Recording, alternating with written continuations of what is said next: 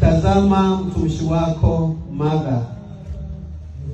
ambaye kwa unyenyekevu amekubali maombi yetu akipiga magoti mbele zako na mbele ya madhabahu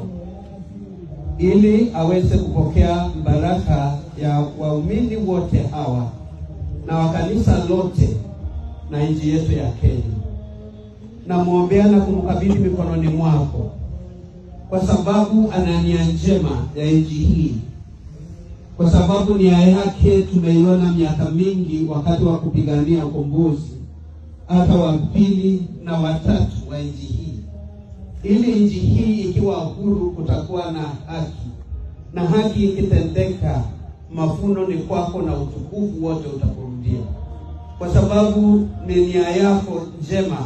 ya kwamba kila mtu apate haki mbele ya macho yako kutokana na uongozi ambao unaochagua na kuutawaza hapa duniani. Twamkabidhi mikononi mwako ili Bwana umtakaze, moyo wake uutie nguvu.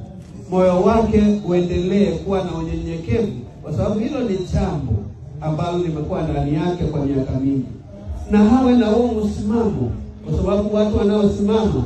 kwa msimamo wa kweli ni wale wanatetea haki,